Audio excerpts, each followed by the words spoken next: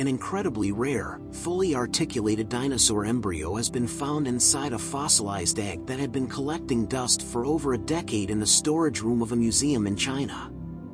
Thought to be between 66 and 72 million years old, the unborn specimen reveals an incredible link between dinosaurs and modern birds.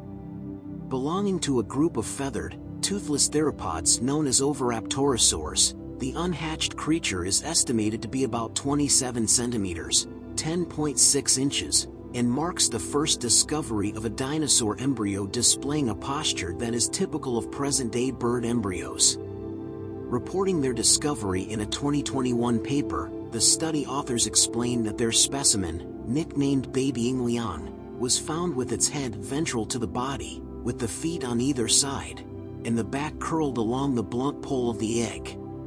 Such a posture, they say, is previously unrecognized in a non-avian dinosaur, but reminiscent of a late-stage modern bird embryo. This little prenatal dinosaur looks just like a baby bird curled in its egg.